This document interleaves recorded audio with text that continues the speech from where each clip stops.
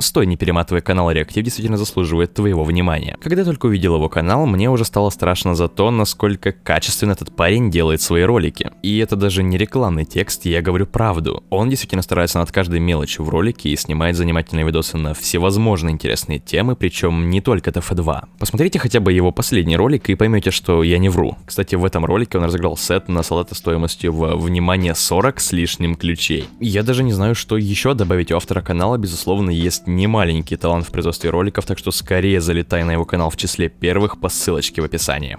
Всем привет! Во-первых, да, разраб TF, который находился с игрой с самого ее начала, на днях пофиксил проблему лагботов, и пока что их в казуале нет, но этот ролик все еще, к счастью или к сожалению, актуален, так как, по словам самих кодеров, этот фикс ненадолго, и есть еще туево хуча лазей, которые позволяют нагнуть как игру, так и сервера. Итак, буквально на прошлой неделе я смог связаться с одним из юзеров лагботов, чтобы спросить его о новой напасти в казуале. Сначала я задал ему вопросы, которые волновали именно меня, ну а потом перешел на вопросы, которые вы задавали под тем постом в сообществе. Сейчас рассказывать, что такое лагботы, не стану, так как я уже делал ролик на эту тему. Кто хочет узнать, добро пожаловать по ссылочке справа вверху, а мы пока что начинаем с тех вопросов, которые задал ему именно я. Первый. Сколько примерно людей на данный момент в вашей команде и много ли среди них русских? Вообще, среди людей, юзающих Кэтхук и находящихся в чате, около 41% англоговорящие. Честно говоря, за все время я встречал одного-двух русских человека от силы, но повторюсь, это именно люди, использующие чит. Всех в команде разработчиков я и сам не знаю, если честно, но Lightcat является главным разработчиком. Первое фото — его аватарка в Телеграме. И добавлю от себя, именно в ролике интервью с разработчиками читов я использовал как раз таки материалы Lightcat, которого я замазывал, я так понимаю, что замазывал зря, так как они особо и не пытаются как-то скрыть все это и так далее. Второй вопрос, каким образом достигается краш сервера и как это влияет на сам сервер? Ну, раньше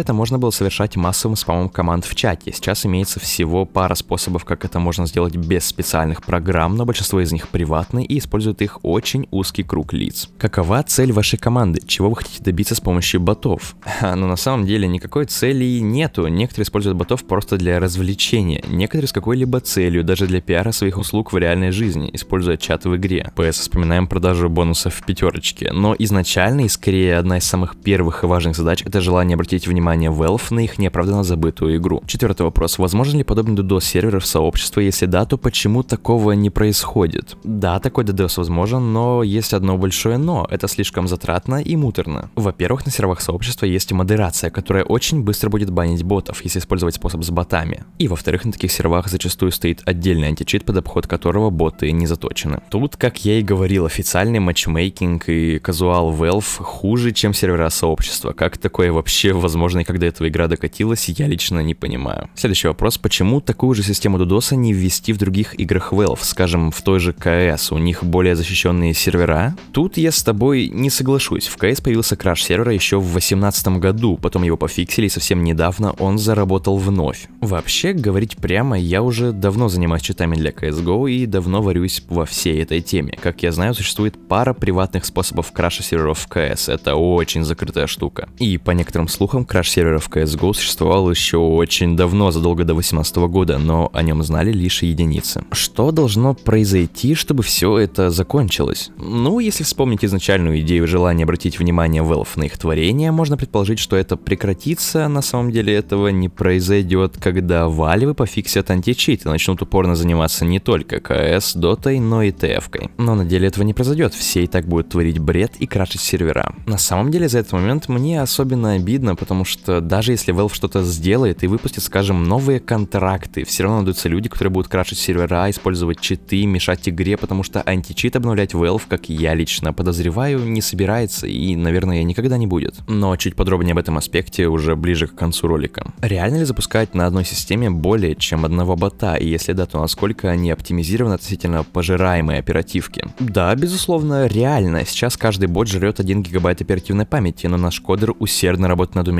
этого количества. И также юзер прислал мне несколько интересных скриншотов того, как это все выглядит изнутри, так что я готов поделиться ими с вами. Вот как это все выглядит изнутри, как это все выглядит от лица того, кто запускает ботов на своем ПК. Заметьте, что на вот этом скриншоте он прописал в какую-то консольку, что ли, команду таунт, и все боты начали таунтить, так что управление ими довольно гибкое, и можно задать им хоть что, в принципе, хоть какую команду. Ну и также он добавил немного информации от себя, вот, дополняет по поводу читов на ТФ. Сейчас один из самых популярных и долгоживущих читов является... Угу, меня пришлось замазать, чтобы зрители сразу не начали его покупать или пытаться скачать бесплатно, получив при этом кучу вирусов на свой ПК. В нем есть все те же самые функции, что и в кэтхуке, но краш серверов, как я помню, но это не точно появился там раньше. Также существует конфиг не только на снайперов-ботов, но и на медиков, хэви и инженеров. Да-да, можно полностью застроить спавн или точку турелями, и никто не сможет пройти. Также большинство читеров используют софт на своих основных аккаунтах с шапками и дорогими скинами. Это у них такой фетиш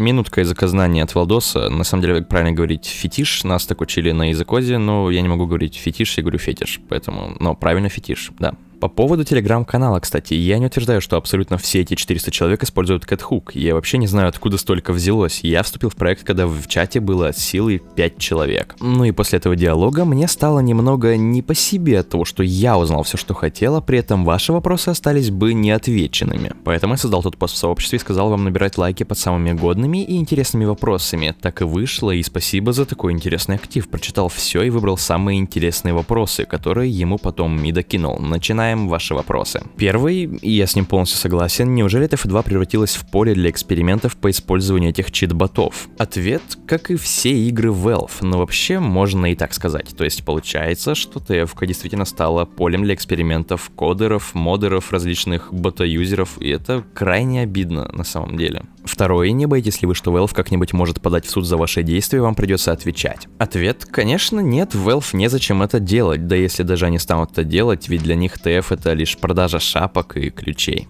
И на самом деле ответ это очень жизненная тема, потому что для Valve реально TF превратилась просто в дополнительный приток прибыли, причем не такой даже большой и важный, поэтому на него можно просто положить, потому что игра старая и по сути, ну, в какие-то топы сейчас выбиваться не будет даже при каком-то обновлении, на которое тоже нужно тратить деньги, поэтому я такой типа, ау. Сколько денег можно получить за лагботов или это бесплатно и по собственной инициативе? Ответ это все делается по инициативе добровольцев, никаких денег. Далее, если Valve выпустит крупный апдейт, прекратится ли подобный DDoS серверов, даже если они не изменят античит? Ответ, думаю, нет, ведь для некоторых это просто способ отдохнуть и развлечься, меся людей в казуале, и тем более всегда можно найти обход. Но по первоначальной задумке мы должны будем прекратить это, но не все согласятся прекратить DDoS серверов и створение хаоса в казуале, ведь для некоторых это уже стало привычным способом игры. На самом деле это страшно, единственное, что я могу сказать, то, что Valve нужно сначала обновить античит, пофиксить все баги и так так далее, на что уйдет туево хуча времени, правда, а потом уже выпускать какие-то там апдейты, то есть апдейтов нам, я так понимаю, с вами не дождаться, просто не доживем. И вот вопрос, который я сам ставил под сомнение, потому что он показался мне сильно странным, но все же я решил его задать. Это правда, что иногда боты по ошибке начинают досить IP рандомного пользователя, вызывая у него ошибки и вылеты интернета, которые кончаются только если связаться с создателем или через 10-12 часов?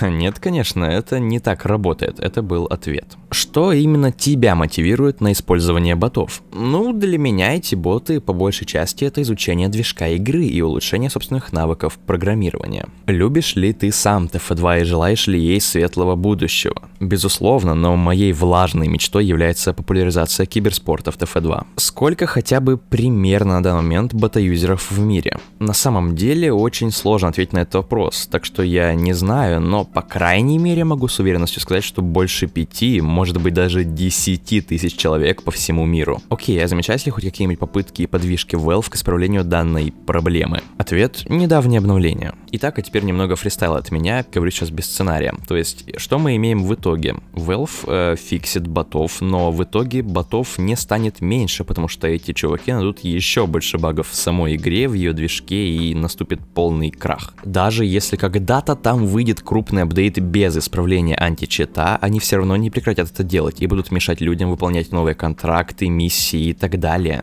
Потому что для некоторых из них это стало уже привычным типом игры, по-другому они играть уже не могут. Знаете, это как Viagra, что-то такое.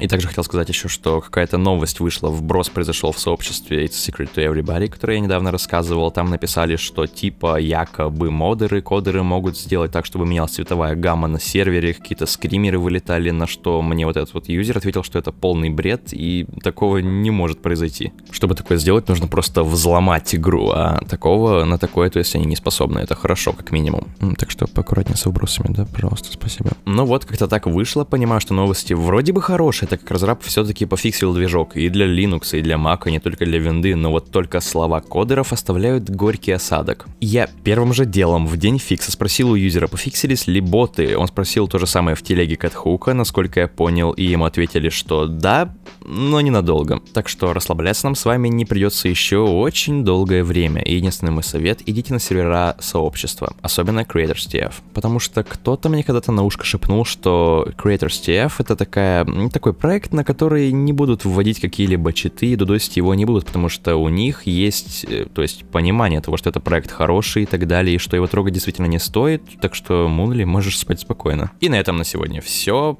Благодарю всех донатящих абсолютно. Спасибо вам огромное, ребят, за поддержку. Каждый донат для меня это вообще прям просто поцелуй в щечку. Просто спасибо вам огромное, ребят. Подписывайтесь на канал, вступайте в группу в Стиме и ВКонтакте. Всем удачи и до связи.